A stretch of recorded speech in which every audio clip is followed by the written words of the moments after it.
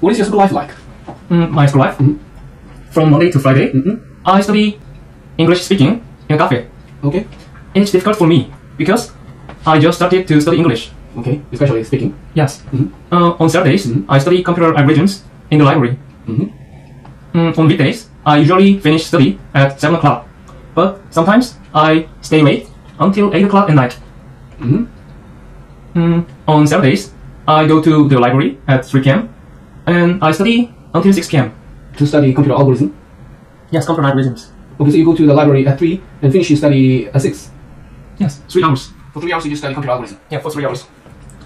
Mm, on Sundays, I visit Iksan to see my parents. Okay. Why? What, what does that mean? Uh, last year, I started to leave Jeonju Why? because my school is in Jeonju. I'm from Iksan.